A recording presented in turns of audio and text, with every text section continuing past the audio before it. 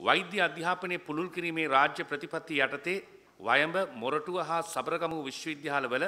වෛද්‍ය පීත ආරම්භ කරන්න දෙදස් දහට අයවැය මගින් රුපියල් මිලියන එද්දාස් දෙසිය පණහක් වෙන් කරලා තියෙනවා. ඒ අනුව සබරගමු විශ්වවිද්‍යාලයේ වෛද්‍ය අධ්‍යාපනය ස්ථාපිත කිරීමට රත්නපුර බටුහේන පිහිටි විගණකාධිපති දෙපාර්තමේන්තුවට අයත් ගොඩනැගිල්ල හා ඉඩම පවරා ගැනීමට හිටපු උසස් අධ්‍යාපන හා මහාමාර්ග අමාත්‍ය ලක්ෂ්මන් කිරියල්ල මැතිතුමා ඉදිරිපත් කරපු යෝජනාව වත්මන් විශේභාර අමාත්‍ය කබීර් හශීම් මැතිතුමාගේ එකතාවේ සැලකිල්ලටගෙන අමාත්‍ය මණ්ඩලය අනුමත කළා. සයිටම් ආයතනයේ වෛද්‍ය සිසුන් කොතලාවල ආරක්ෂක විද්‍යාලයේ වෛද්‍ය පීතයට ඇතුළත් කර ගැනීම සඳහා සුදුසු ක්‍රමවේදයක් සකස් කිරීමට ආරක්ෂක අමාත්‍යන්සේ ලේකම්බරයාගේ ප්‍රධානත්වයෙන් කමිටුවක් පත් කරලා තිබුණා. එම කමිටුව ලබහදී ඇති වාර්තාවේ නිර්දේශ අනුව සයිටම් ආයතනයේ දැනට ඉගෙනම ලබන වෛද්‍ය සිසුන් පමණක් කොතලාවල වෛද්‍ය පීතයට ඇතුළත් කර ගැනීම සහ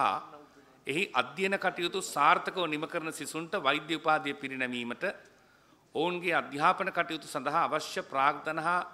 පුනරාවර්තන වියදම් සහ කොතලාවල ආරක්ෂක විශ්වවිද්‍යාලයේ රෝහලේ සේවාවන් සඳහා අවශ්‍ය පුනරාවර්තන වියදම් රජය මගින් ලබා දීමත් ඇතුළු එම නිර්දේශ ක්‍රියාත්මක කිරීමට ආරක්ෂක අමාත්‍යතුමා වශයෙන් අතිකරු ජනාධිපති මෛත්‍රීපාල සිරිසෙන මැතිතුමා ඉදිරිපත් කරපු යෝජනාත් ඇමති මණ්ඩලය අනුමත කළා.